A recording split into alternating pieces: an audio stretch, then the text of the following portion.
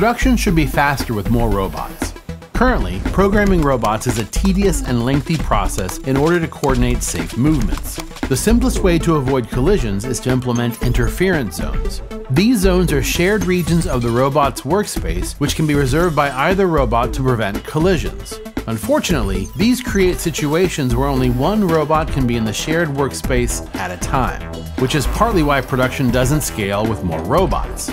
Realtime Robotics solution, shown on the right, slims down the interference zones to include the space the robot will occupy as it moves. Robots can now be far more productive because they can plan around each other, which ensures they never waste time waiting for other robots to exit the central workspace.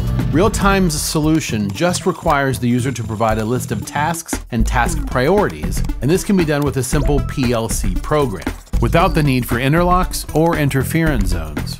From there, Realtime's motion planning technology automatically finds collision-free motion plans for every robot, significantly reducing deployment time and cost. Learn more on our website at rtr.ai.